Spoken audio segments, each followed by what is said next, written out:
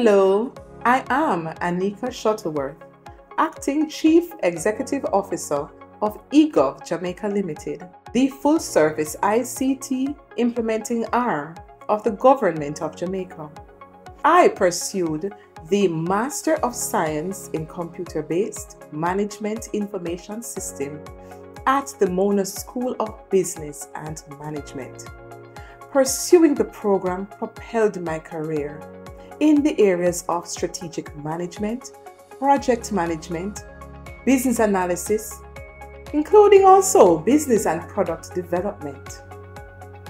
I had some really impactful lecturers. They were not only knowledgeable, but they also became mentors.